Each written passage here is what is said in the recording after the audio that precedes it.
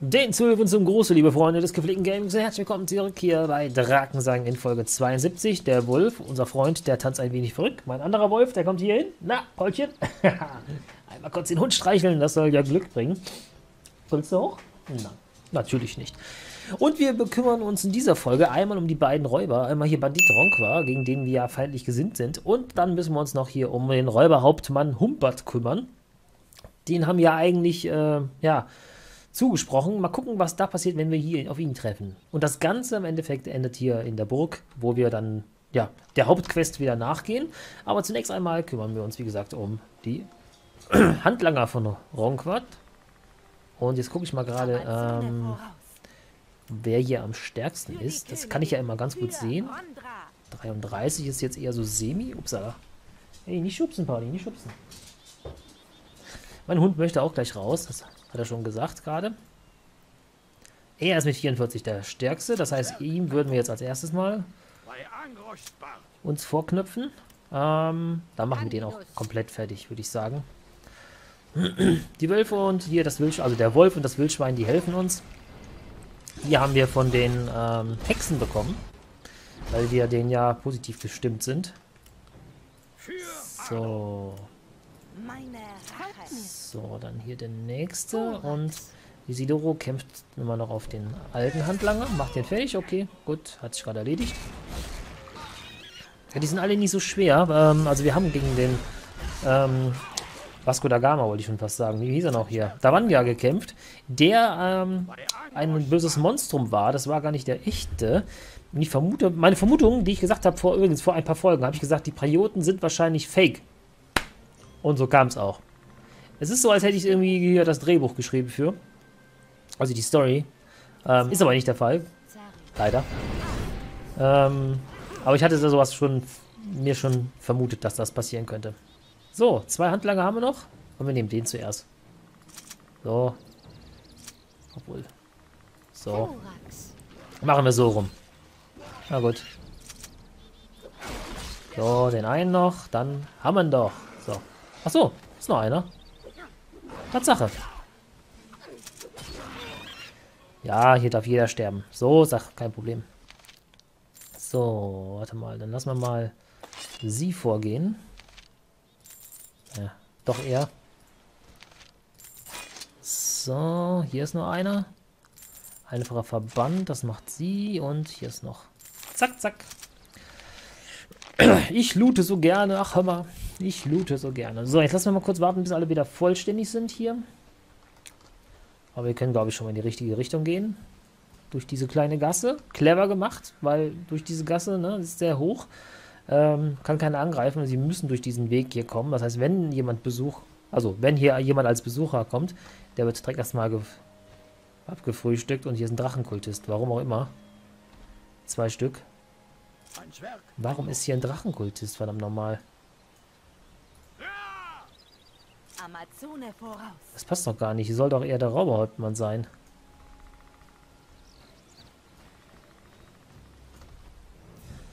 Alles ein bisschen merkwürdig hier. Aber gut, das ist die Story. Ich frage da nicht groß nach. Es wird schon seinen Grund haben, warum hier noch Drachenkultisten stehen. Entweder zufällig hier reingesetzt vom Leveldesigner, ähm, weil es einfach thematisch irgendwie passt das überhaupt nicht hier hin. Ganz komisch.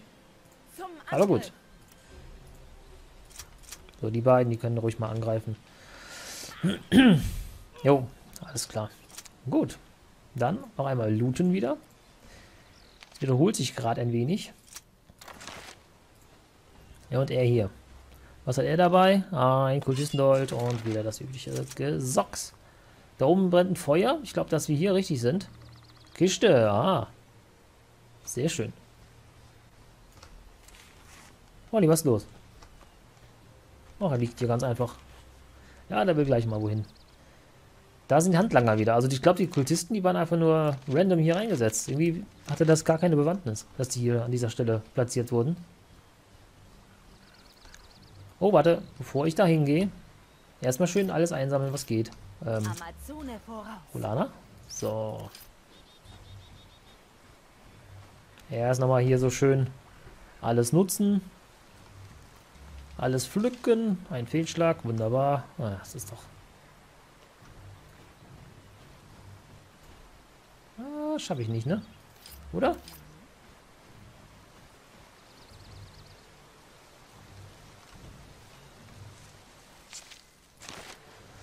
Okay, pass auf. Da ist der Bandit Rongwa. Achso, wir können noch gar nicht kämpfen. Okay. Ja, dann kurz einmal speichern. Es steht im Heftchen. Ich wollte es nur mal kurz erwähnt haben, in dem Heftchen, Sonderheft, was ich mir mal geholt habe. Zu Drakensang stand drin, sehr viel speichern.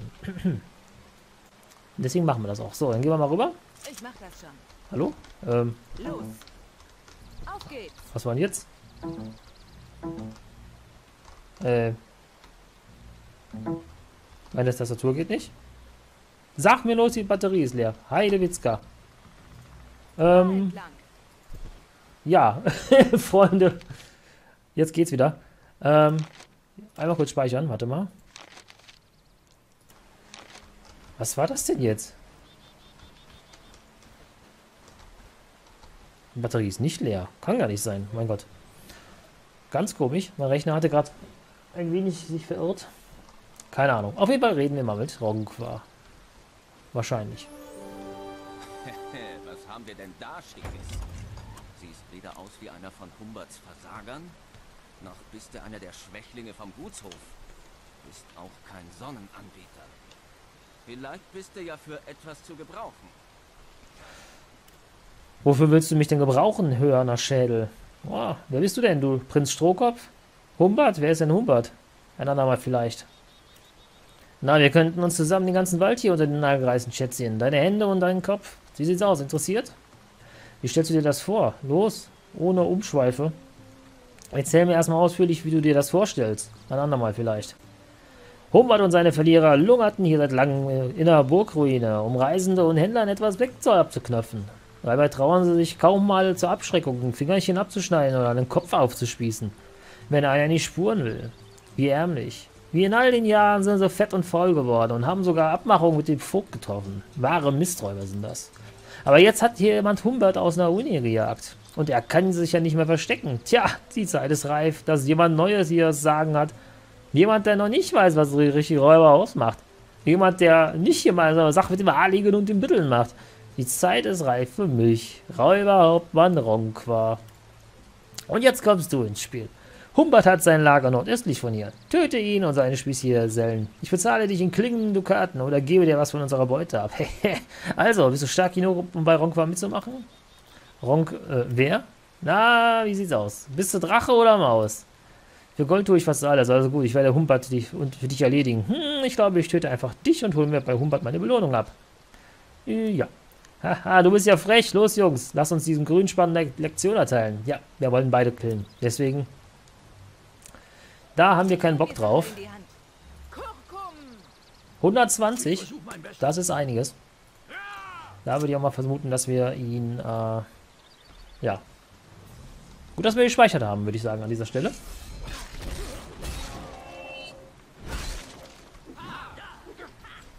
Okay. Aber ich glaube, der wird uns nicht so töten wie der andere. Also nicht so schnell töten. Rache. Meine Vermutung ist, dass es ganz gut, dass wir das so machen. Ähm, deswegen Ignifaxius auf Bandit Ronk war mit 120 Lebensenergie. Echt too much. Sorry, aber das ist echt zu viel. Für einen einfachen Räuberhauptmann, ja, aber als Mensch. Ist jetzt kein, äh, kein großer Kämpfer an der Stelle. Ne? Das wollte ich schon mal gesagt haben. So, und das machen wir nochmal. Ich hoffe, dass die kleinen Viecher noch hier mitmachen. Die Tierchen des Waldes. Oh, ja, ist schon... Oh, das ist nicht gut. Ähm, Thorax. dann, ja. Candidus. Thorax. Balsam soller Wunde. Heile Wunde. Schade, hat nicht funktioniert. Eieiei. Lass mir den Räuber hat man gerade mal töten. Oh, hier. Sehr gut. Er macht einen Einbärensaft, er trinkt einen Heiltrank und dann sind wir wieder voll da. Na komm. Und dann haut er ihm einen rein.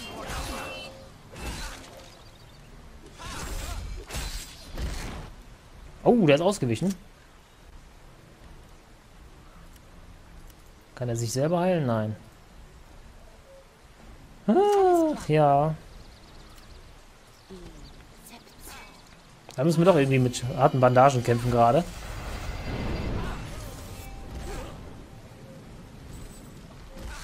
Mein Gott, der kann also, ein, also ordentlich einstecken hier. Äh, gehen wir mal zu ihm. Isidoro ist tot. Ich will mal gucken, was passiert, wenn er tot ist hier. So, er wäre jetzt weg. Das bin ich. Okay, dann lass uns mal gucken. Warte mal. Ich versuche mein Bestes. Kann ich ihm was geben? Äh, warte mal. Gladys hat noch einen Bärensaft. Achso. Die hat die hier. So. Forgrim. Ich würde dann mal einen benutzen und gucken, ob das funktioniert. Und dann würden beide kämpfen. Naja. Naja, naja. Es sieht nicht gut aus, Freunde. Ich glaube, wir müssen das nochmal neu starten. Wie haben die denn? 45 jeder. Oh, das ist hart. Das habe ich nicht bedacht. Ähm,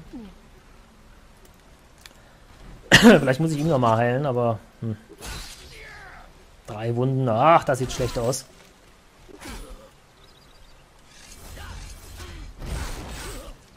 Nee, Freunde. Ich glaube, wir laden da nochmal neu.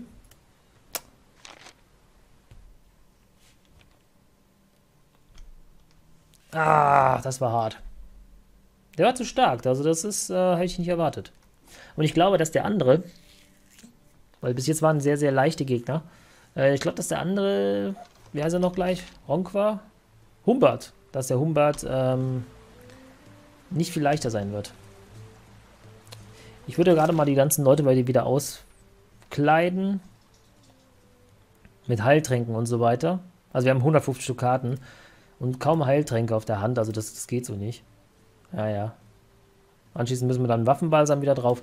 Pass mal auf, ich würde mal kurz ins, äh, ins Gut gehen. Ja, ich würde einmal kurz ins Gut gehen und gleich mich an dieser Stelle wieder postieren. Äh, gestärkt mit ein paar Sachen. Also, ich würde sagen, bis gleich. Oh, ich bin kurz hier in was reingeraten. Ich bin ab Alvene getroffen, die bei Danos steht, die Kröte. Und dann würde ich sagen, machen wir das mal gerade. Eigentlich wollte ich mich für Jane dankbar sein. Der Lump würde doch auch mit Morla oder Josmene im Heu verschwinden, wenn es ihn juckt. Ach, Isidoro, du bist, na, willst du dein Werk auch nochmal begutachten? Alvene, was machst du hier? Um dir beizusagen, ich möchte Danos zu Firiane bringen. Was? Der arme verirrte Ding will ihn sogar noch als hässliche Krötlein haben? Und du willst ihr dabei helfen? Auf wessen Seite stehst du eigentlich? Überreden. Auf meiner eigenen. Ich habe dir geholfen, deine Rache zu erhalten und nun sorge ich dafür, dass Danos nicht zustößt. Du bist ja so genauso flatterhaft wie eine Hexe, also gut. Niemand soll sagen, ich könnte nicht sei ein Unmensch. Nimm dir die treulose Kröte und bring sie zu Firane. Was dumme Mädchen ist wohl echt verliebt in ihn. Hab Dank, Alvene, du hast wirklich ein gutes Herz. Na gut, hau bloß ab. Okay. ja, dann haben wir ihn genommen. Ähm, stimmt. Ich bin ja eigentlich hier unten lang. Ich wollte eigentlich zum Gut Dunkelhorst. Bin schon fast hier unten angekommen. Zwischendurch habe ich da noch ein paar, ähm, ja, ein paar, wie heißt es so schön? Lass mich nicht lügen. Achso, ja. Feuerfliegen getötet und ein paar Wildschweine, die uns da aufgelauert haben. Und ich bin an dem äh, Lager vorbeigegangen, der Bandstrahler. Gut, da ich jetzt gerade hier unten bin, würde ich sagen, machen wir das gerade zusammen. Dann können wir die auch mal töten. Oder? Lass uns erstmal, ihr habt recht, lasst uns erstmal kurz auffrischen gehen. Gut, Dunkelhorst. Lass uns vernünftig sein, das bringt nichts. Und dann anschließend gehen wir dann, äh, gehen wir dann weiter. Aber ich wollte euch nur kurz daran teilnehmen, diese Szene mit, ähm, ja, Alvene. Und ich würde mal sagen, wir gehen jetzt zu Feriane und, äh, ja, geben Danos mal ab. Und, ähm, damit wir auch wissen, dass eben nichts passiert. Wir sind ja so gut. So gut. So, und zwischendurch. Da hinten ist sie doch. Habe ich sie doch gesehen am Wegesrand noch stehen. Eine Conchita-Wurst hier. Conchinis. Conchinis. Dreimal, jawohl. Sehr schön. War gar nicht geplant, dass ich gerade jetzt in der Zwischenzeit kurz wieder reingucke, hier äh, auftauche. Aber so ist es halt normal. Ich habe mir gedacht, wenn ich jetzt hier irgendwo irgendwas habe, was spannend ist, dann lasse ich euch natürlich direkt daran teilhaben. Ähm, von daher sind die wieder spontan hier. So, und da ist das gut. Da wollte ich hin. Und gucken wir mal, dass wir... Bringen wir erstmal Danos weg. Die kleine Kröte hat sie auch nicht verdient. Letztendlich hat sie aus den Fehlern gelernt. So, Firiane, da ist sie doch. Ihr Danos dabei? Ja, seht her. Oh, mein Danos. Was hat diese schreckliche Frau dir nur angetan? Ich bin euch dankbar, dass ihr ihn mir gebracht habt, Isidoro. Und es tut mir leid, dass ich die Prioten auf euch gehetzt habe. Sind wir jetzt quitt? Ich glaube schon. Aber entschuldigt mich jetzt bitte. Ich muss mich um Danos kümmern. Na gut. Na gut. Hätten wir diese Quest dann auch mal vollbracht. So. Äh, gut. Ich wollte gucken, dass ich mich hier so ein bisschen stärke und aufbaue. Gut. Wie gesagt, das werde ich jetzt machen und ähm, wir sehen uns gleich wieder. Bis gleich. Hallo, da bin ich zurück. Und äh, ja, ein bisschen aufgefrischt das Ganze. Ne? Buntpulver habe ich gekauft, Halse, alles, was das Lager hergab. Wir haben aber immer noch 138 Stück Karten. Wir hatten 150. Dafür haben wir jetzt jeden hier einzeln gut versorgt mit Zeugs. Ne? Also da dürfte auf jeden Fall gut werden. Und wir stehen hier am Lager der Prioten und wir gucken einfach mal, das hatte ich ja schon gesagt, was uns hier erwartet. Ich habe gerade auch gespeichert. ja, da sind schon ein paar einige drin. Ja, ja, hier ist der Lagermeister, das sind vier Bandstrahler. Warte mal. Ah, das ist ein besserer Bandstrahler. Ja, ne, hat nämlich einen Namen, weil wenn die Namen haben, ist immer ganz gut. Äh, da steht einer. Der hat nur 30. Ja, pass auf, dann können wir den mal gerade... Oder? Pass auf. Ich habe mal eine andere Idee. Wir machen sie mal 2W plus 6. Hallo, die Waldfee. Wir machen sie mal als, äh, genau. Wir könnten ja auch einen Bogen spannen, ne? Ein W plus 1 ist aber, der ist schlecht. Wir müssen einfach mal einen besseren Bogen für sie machen. Ja. Und dann nehmen wir 23 Bolzen. Haben wir nicht mehr Bolzen? Wir haben viele Pfeile, aber wenig Bolzen. Naja. Und dann würde ich sagen, sie greift mal an. Den Bandstrahler. Und sie kann auch mal gleich einen Fulminikus hinterher schießen.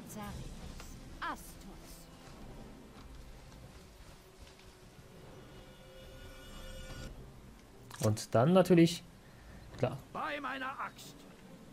die zwei, die kämpfen vor der Front. Fulminikus auf ihn. Und ja, sie schießt auf ihn. Gucken, was passiert. Ob die anderen drin bleiben erstmal so lange. Das wäre ja etwas ah, seltsam. Also. So, die beiden hier drauf und Ulana auch. So, schau, kaum mal. Ich bin so weit weg hier mal. Ja, das war's schon.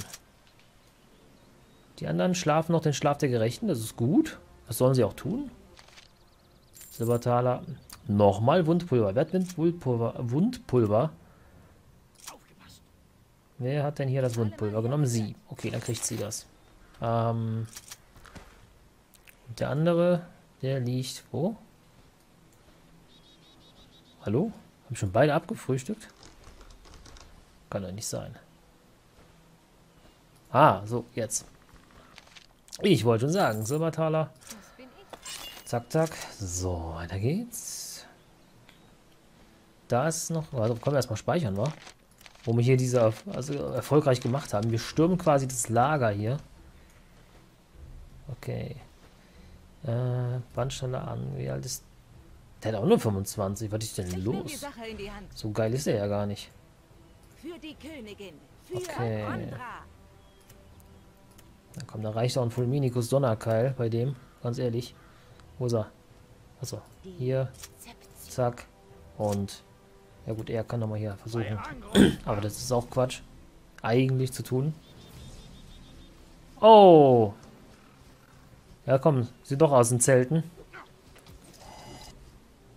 Eieiei. Okay, pass auf. Haben wir dann einen geilen hier? Uh. Amazone voraus. Zum Angriff. Ich dachte, weil er einen Namen hat, ist er der, so- der Supertyp hier. Alter, da habe ich mich vertan mit dem Stürmen hier, glaube ich.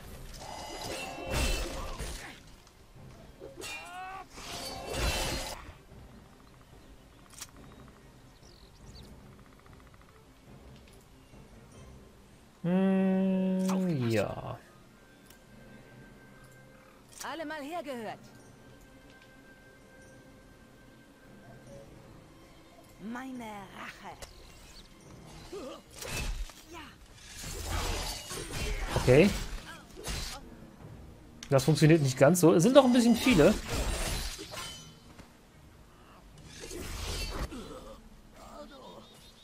Ich bin weg. Tschö. Ich bin weg. Ich muss weg. La, la, la, la, la, la. Mal gucken, wann die von mir lassen. Ob überhaupt.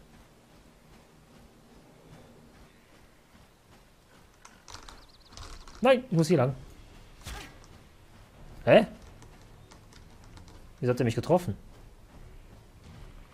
Die Frage ist, kann ich so überleben? Tralalala. Oh, wer liegt denn da? Oh. Und wo laufe ich hin? Die lassen, glaube ich, von mir ab. Bredo, Hilfe! Die Bandstrahler kommen!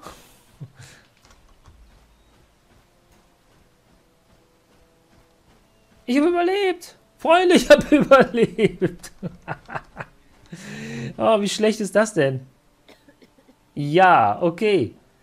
Ähm, ja, kommt mal her, Freunde. Kommt mal her. Ich glaube, wir müssen das Ganze nochmal überdenken. Okay. Aber die braucht auf jeden Fall eine bessere Waffe, das ist klar. Ähm, damit kommt die nicht weit. Ja, da ist ein Spolzen noch. Hm, ich weiß nicht. Ob das das Richtige war. Aber fliehen ist eine Möglichkeit, Freunde. Kritische Wunde. Ich glaube, ich muss mich kurz mal heilen lassen. Also alle mal hier heilen. Ähm, erstmal selber. War das jetzt Schummeln? Ich meine, misslungen? Ich bitte dich. Aha. So, dann heile ich erstmal die anderen. Kritische Wunde, ich hoffe, das geht. Ja, okay. Da, Ihmchen hier und dann warten wir mal, dass es besser wird und dann gehen wir mal doch wieder zum Räuberhauptmann und ähm, ja. Ich glaube, die Prioten sollten wir noch nicht stürmen. Ich weiß nicht warum, irgendwie, irgendwas sagt mir, dass wir das besser lassen sollten. So, hier nicht hoch, sondern eins dahinter. Eieiei, Freunde. Eine kleine Kuddelmuddel-Folge, aber das muss auch mal sein. Hatte ich nicht vorgehabt, einfach hier die Räuber auszuräuchern? Ich weiß es nicht. Wir hätten theoretisch noch was Zeit, oder? Ich gehe mal da hoch und gucken wir mal. Also, bis gleich. So, da bin ich wieder. Ich stehe wieder hier in der Nähe von Ronkwerts Lager. Wollte hier gerade die Passage durchgehen. Und da sind wieder ein paar Handlanger aufgetaucht. Ich glaube, die sind wieder hinzugefügt worden. Ähm, als Kanonenfutter, glaube ich. Ja, 33. Das ist jetzt nicht so... Das ist nicht so die starken. Ich glaube, die sind einfach nur reingesetzt worden, damit die wieder da sind. Keine Ahnung. Auf jeden Fall hatten wir die schon eigentlich platt gemacht. Und ich bin eigentlich davon ausgegangen, dass es gut ist, dass wir die schon platt gemacht haben. Aber scheinbar ist es total irrelevant, weil die ploppen einfach wieder neu auf. Schade. Macht so ein bisschen das Spielspaß kaputt. Ähm, wobei das ist halt nur marginal. Man muss immer berücksichtigen, das Spiel ist von 2008. Ja, die hat schon ein bisschen Alterserscheinungen, aber er sieht immer noch sehr schön aus. Das ist schön gealtert. Und von daher darf ich mich eigentlich gar nicht beschweren. Ich versuche mein Bestes. So, und hier der nächste. So, ach komm, dann alle drauf hier. Außer er macht noch einen Wuchtschlag. Und alle drauf. Bam, bam, bam, bam. Das war's. Gut. Hätte nicht sein müssen, die hier wieder hinzustellen. Ich weiß nicht, warum die das gemacht haben, aber gut. Es soll wohl so sein. So. Und das andere noch. Wundpulmatte, sie, genau. Alles klar. Schlingenfalle. So. Dann werden wir jetzt noch weitergehen und noch weitere treffen, vermute ich mal. Die dann auch wieder neu gespawnt sind. Da ist noch ein Wölfchen, das macht uns nichts. Ah, hier waren noch die zwei Kultisten, ne? Vorhin mal. Auf jeden Fall, da ist Ronquards Lager. Ist richtig? Ronquart? Ja, Ronquards Lager. Lager. So. Frisch gestärkt gehen wir mal wieder für guten Mutes äh, zu Ronqua und wollen ihn mal vernichten. Hoffentlich wird dies gut funktionieren. Wie gesagt, ich bin mir nicht sicher. Wir könnten natürlich auch erstmal hier die Sachen platt machen. Falle entdeckt, aha. Macht den gar nichts aus. Ich würde erstmal sagen, wir plündern erstmal. Ah, Dolch und so, ja, es ist alles so ein bisschen, hm, ich weiß nicht. Ich nehme die Sache in die Hand. Bam, da fliegt aber alles weg.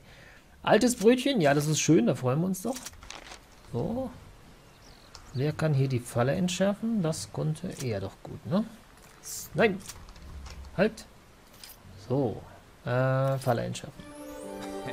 Was haben wir denn da Schickes? Okay. Siehst weder aus wie einer von Humberts Versagern. Das kennen wir ja schon. Wer bist du du denn? Der Schwächlinge vom Gutshof.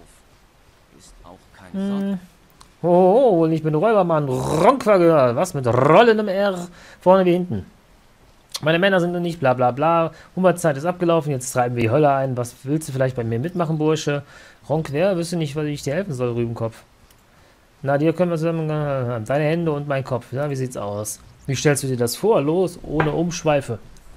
Erzähl mir erstmal ausführlich, wie du dir das vorstellst. Da, da, da, da. Bist du dabei?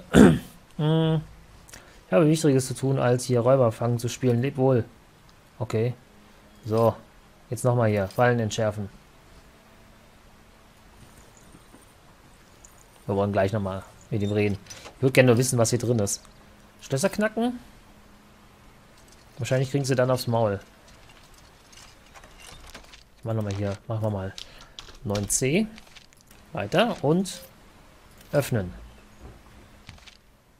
Breit. Uh, Leute. Jackpot, würde ich sagen. Ein anderthalbhänder, ja, das ist doch geil. Wo ist es denn hier?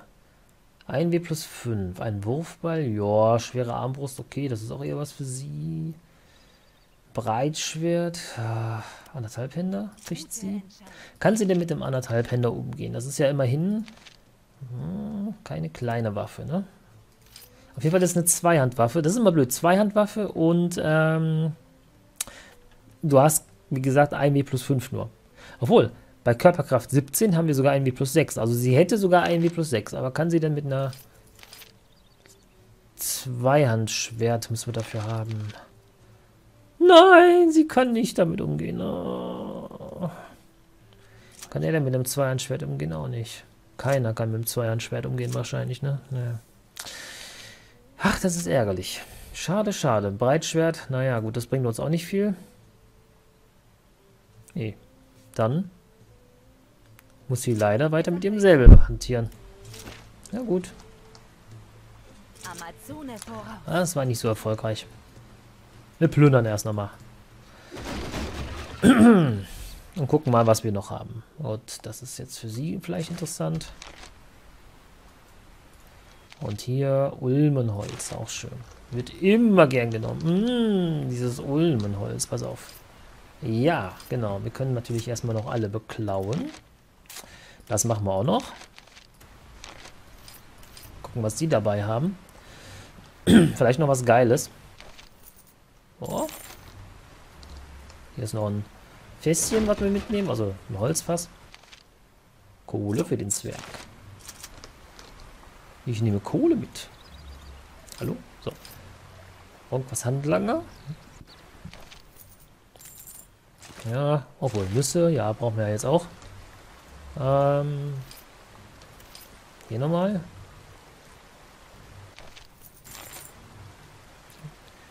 Hier ist noch ein Handlanger, den habe ich noch nicht. Und am Schluss machen wir mal den Ronkwer und gucken, was wer dabei hat. Ronkwer. Whatever. Na komm. Und er. Ah, guck mal hier, was der Schönes dabei hat. Dann alles nehmen. Was war das denn hier? Steckbrief Ronqua. Achso, toll. Lesen. Gesucht von Rechtens wegen zur Verurteilung seiner Untaten, Mordraub, Egelerei, Brandschatzung sind Mordbrand, Totschlag, Tempelschändigung, Presse, oh, Presserei und Fügung einer Räubersbande steht unter Acht des Fürsten vom Kosch und Grafen zu Ferdok. Der Vogelfreie bekannt unter dem Namen Ronqua. Alles klar, Freunde.